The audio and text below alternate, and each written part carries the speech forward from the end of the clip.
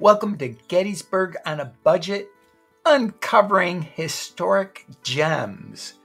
At destinationgettysburg.com, this is what comes up. It has all about exploring Gettysburg and getting around town.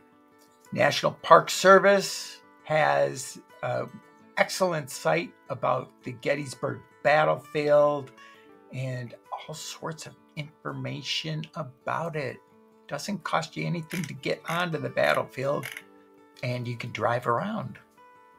Gettysburg National Park, Military Park, all about it. Welcome to the National Military Park. Here's a map. There's there's road closures actually because they're having construction. It's nice to check on uh, all the places where you can drive and not drive. Here's Gettysburg right here. We have road closures. I already opened that up. Now, when you go to Gettysburg, you're going to want to go and visit the battlefield. Here's the one of the ways, one of the many ways to visit the battlefield that I would recommend. One is pick up this Gettysburg National Military Park official guidebook. I remember buying it back when it was only, I think, 275, but that was back in the 70s when I went to Gettysburg. And I was in college at the time at Mont Alto in Pennsylvania, not too far from Gettysburg. Official guidebook, 1999, has lots of information.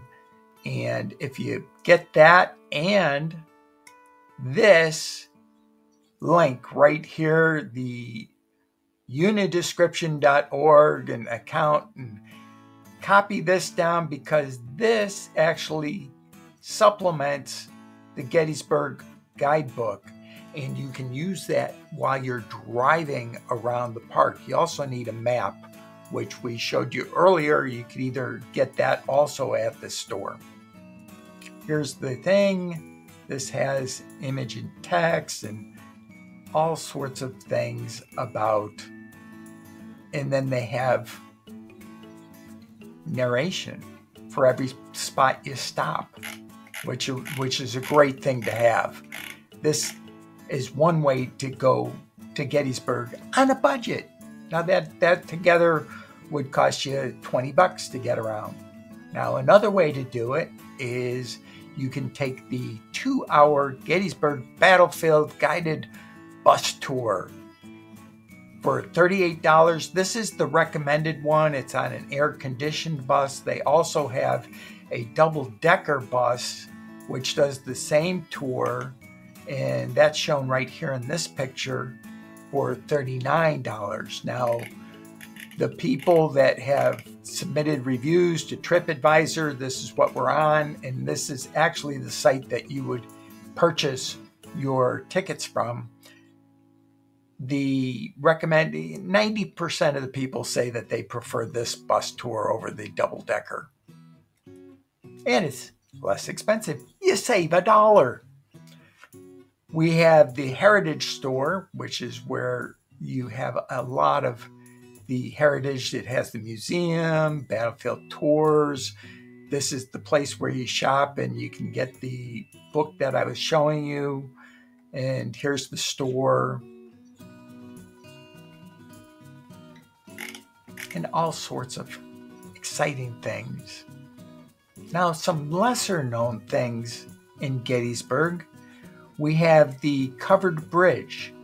This is one of the oldest covered bridges in, in the United States, and also it is still standing.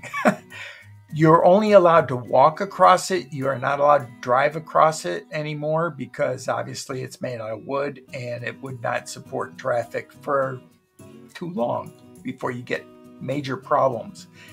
When I walked across it, you did have to watch out because I think there were some holes, but that might have been patched up by now. that's over 50 years ago. And that's not what I wanted to have going off.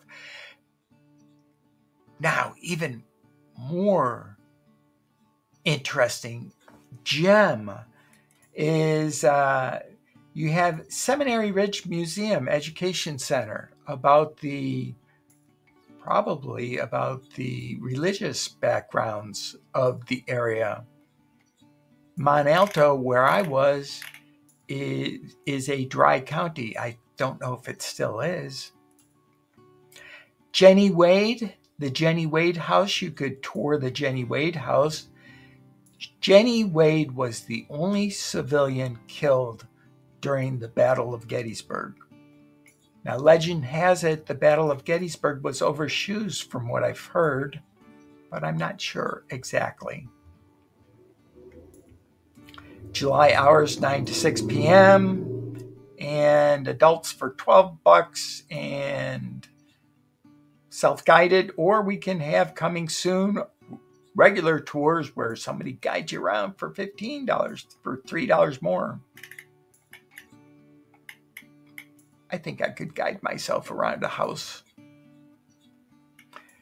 Also, upcoming events in Gettysburg 100 Nights of Taps, May 9th through September 5th, the Baseball Tournament Festival, Museum in the Park, uh, Gettysburg Rec and Festival, Korean War Weekend 70th Anniversary, and also Annual Military Weekend. This Lincoln Train Museum, I think I went into that one too. Uh, it's interesting place. The admission is a little bit much, but uh, not that bad actually. Nine dollars and for active military, uh, seven dollars. I guess all those retirees would have to pay nine dollars. Back to the park, we have the uh, David Wills House, which admission is free to, and that is all free. I like free. Free is for me. I don't know if that'll be in the guidebook that I showed you earlier. I think that this guidebook. Now, places to stay. Let's cover places to stay because we want to stay there inexpensively. We have the Quality Inn in, Get- in Gettysburg Battlefield and I think this was not very expensive. Let uh, okay, I had that right there. Next one over, Super 8. We have that, which is a nice place to stay. All of the places that I oh $94 a night. There we go. 94.50 actually. Popped up. Next one, reserves.com, and we have Sleep Inn and Suites in Gettysburg.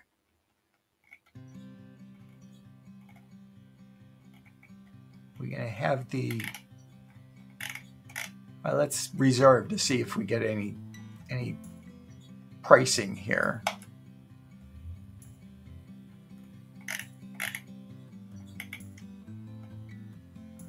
Reserve. Show me the prices. Oh, check rates right here. Check rates.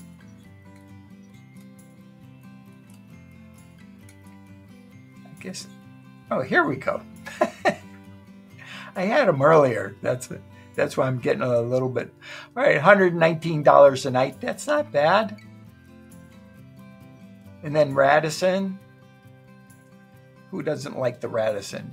102.85 for a night's stay there. We have Comfort Suites near Gettysburg Battlefield Visitor Center. That's 147. I wonder if they throw in a continental breakfast. Uh, breakfast, free hot breakfast. Yay! Now that can save you some money right there, especially if you got kids.